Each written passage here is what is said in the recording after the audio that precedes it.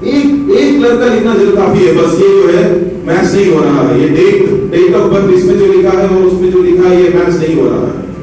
اور آپ پانچ سال بھیگتے رہے بھیگ مانگتے رہے گے کہ میرے نام میں انڈین ہوں بس بھائی یہ تو دے دے جو آپ کی روٹ ہے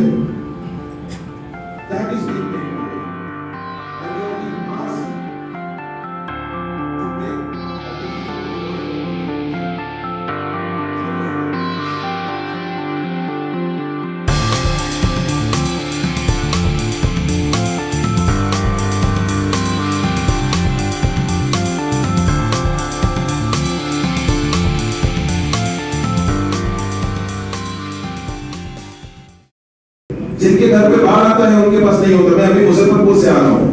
وہاں پہ ہر سال جو لوگ جو ہے اپنی خود کی ووٹر آئی ڈی کارڈ آدھا آدھار آئی ڈی کارڈ ان کے لیے نہیں ہے ان کے پاس، کیونکہ پچھلے سال گھر لے کے مانگنا پڑا تو سب ڈاکیومنٹ نہیں تھا ان کے پاس۔